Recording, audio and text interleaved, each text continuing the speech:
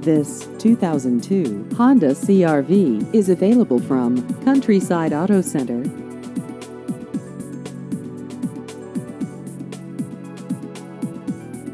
This vehicle has just over 109,000 miles.